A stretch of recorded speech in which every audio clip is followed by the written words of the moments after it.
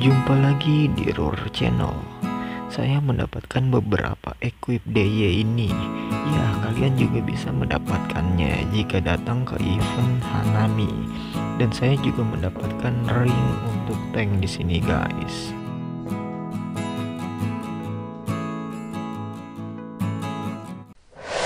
Pertama, kalian bisa masuk ke lokasi event Hanami bab 2 dan di sana kalian bisa dapat ekstal untuk membuat ring di NPC guys.